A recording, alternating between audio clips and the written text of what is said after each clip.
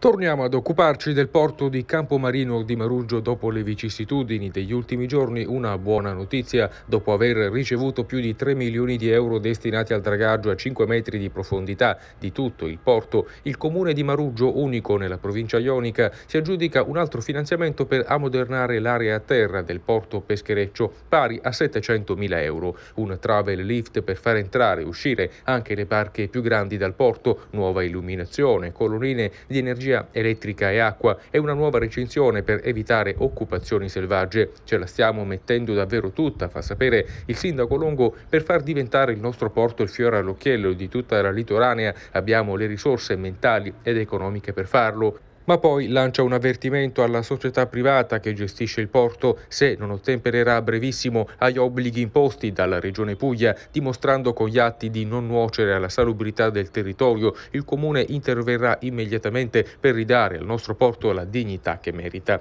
Intanto c'è da specificare che la graduatoria è già stata approvata il 25 marzo e sono stati ammessi i comuni in cui la pesca costituisce un'attività determinante per lo sviluppo economico oltre che di carattere identitario.